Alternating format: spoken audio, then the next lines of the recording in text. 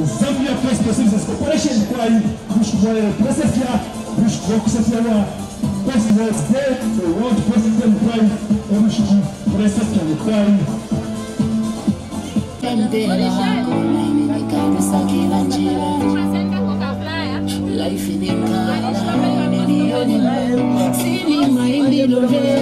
kwa mzambia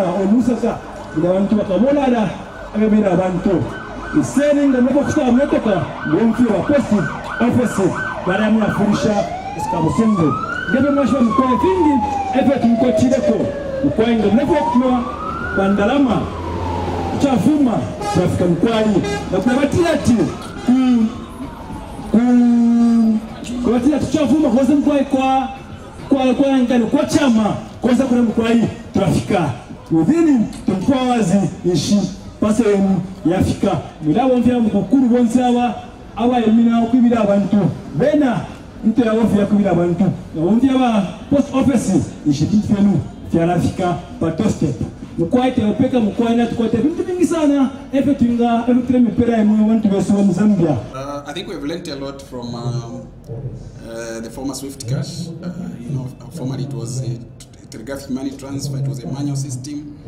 Uh, we migrated because of the times to to, to Swift Cash, but it's also at the limitations because the market was uh, evolving, and now there's e-wallet. So I'm glad to tell you that we'll soon also launch our own e-wallet so that our clients can uh, actually use that uh, uh, innovation uh, to do whatever they do when they maybe they're using MTN money or any other platform. So we are moving with the with the, the times. So we realize that for us to be relevant, we have to innovate. But we are also clinging on to another aspect of uh, the business which cannot go away. Like even if you have internet, you have uh, electronic platforms, but there's way you can, you there's no way you can use that to send a parcel. You know, so you're going to come to the post office to, to send a parcel through our our EMS platform and other postal uh, posting items that are there.